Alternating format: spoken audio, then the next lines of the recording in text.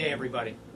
I'm Admiral Jim Stavridis, the commander of U.S. European Command and the Supreme Allied Commander here at NATO. I'm here today on a sad anniversary. This is part of our discussions of the 10th anniversary of the attacks against the United States by Al Qaeda, the so called 9 11 attacks, 11 September 2001.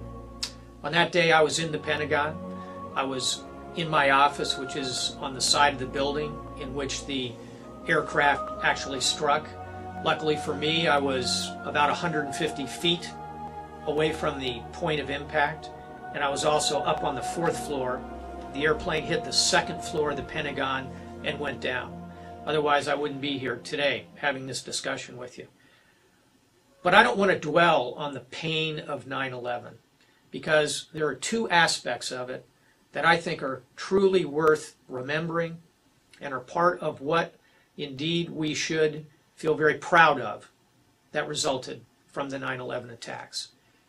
And the first one, I would say, is the way that the entire world stood in revulsion to the attacks and in support to the United States, essentially the entire world.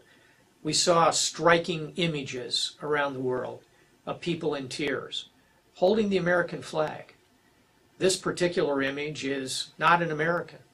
This is a citizen of the United Kingdom, a nation which has stood with the United States for much of our history and continues to do so today.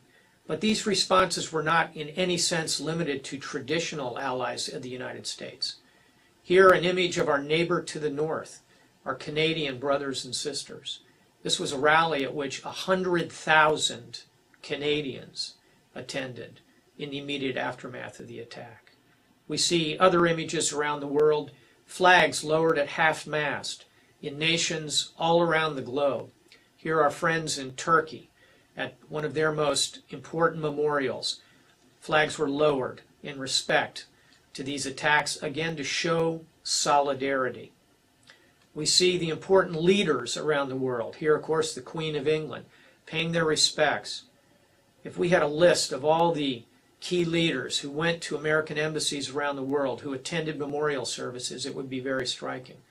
And I think it's important to remember as we look at these flags that it was not just Americans in any sense who died in the 9 11 attacks. In fact, citizens of 90 nations perished in those attacks. So this is very much a response that was natural and it was human around the world. And I think the United States took enormous comfort in a moment of real need for our nation.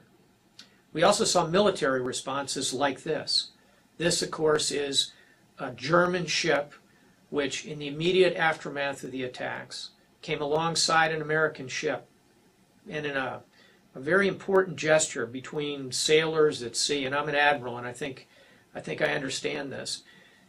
We saw the German crew line the rail of their ship, it's called, and put their, their hands and their hats over their hearts as they went by the American ship. Pretty extraordinary. Now, the second thing I want to talk about, in addition to the support that the United States felt in the aftermath of 9 11, was the response and the resolution that the world showed together. This is a NATO AWACS aircraft. The response from NATO was immediate and important. As it says in the NATO treaty, an attack on one shall be considered an attack on all. So we saw the immediate response of NATO as an alliance in the aftermath of 9 11. The AWACS flew. We saw our NATO ships go to sea and begin to undertake active patrols against terrorists around the world.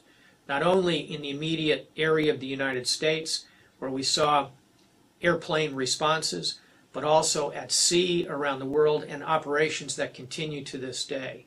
Uh, most notably, of course, the ISAF operation in Afghanistan, where not only NATO and 28 nations stand together, but a total of 50 nations together continue to pursue terrorism to ensure that another 9 11 level attack uh, is deterred. Something of extreme importance to us.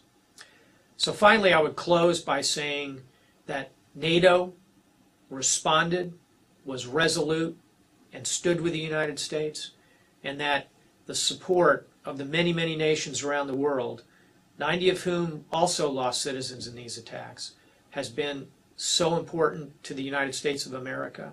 We say thank you to our NATO partners, to our international partners, and we also know that we will continue together to stand against terrorism in the world today.